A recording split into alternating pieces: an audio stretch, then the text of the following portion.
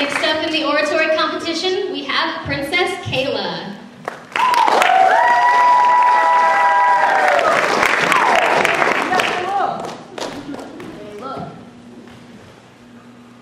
My mom always told me, smile and the world smiles with you.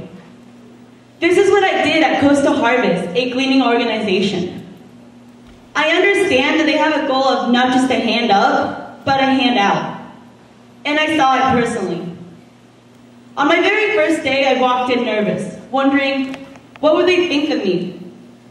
I realized I didn't need to worry. They welcomed me with open arms.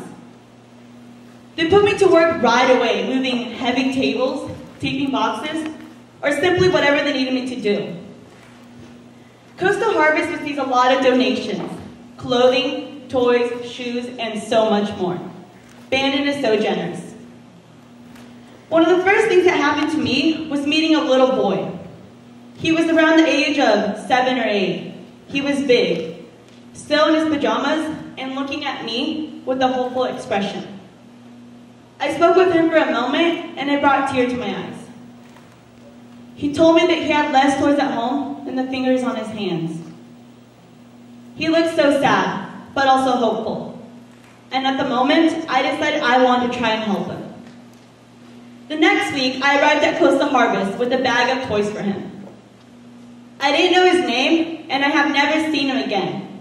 But I keep hoping that he will come in and I can put a smile on his face. Every week, I keep learning more and more each time. I had the opportunity to ask Lynn Silverman, why do you help so much with Coastal Harvest? She simply responded back with, I love the leadership, and everyone needs that extra little help.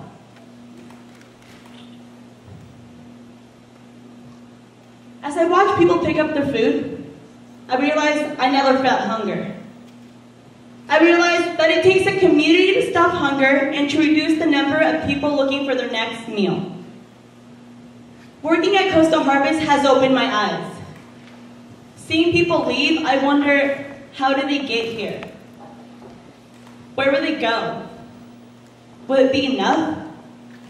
It became clear to me that I wasn't just giving them food. I was giving them a little bit of hope. My mom has always said, smile and the world smiles with you.